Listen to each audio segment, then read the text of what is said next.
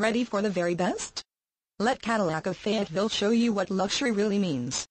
You will love this carbon black metallic 2011 Buick LaCrosse Sedan CXL, equipped with a six-cylinder engine and an automatic transmission.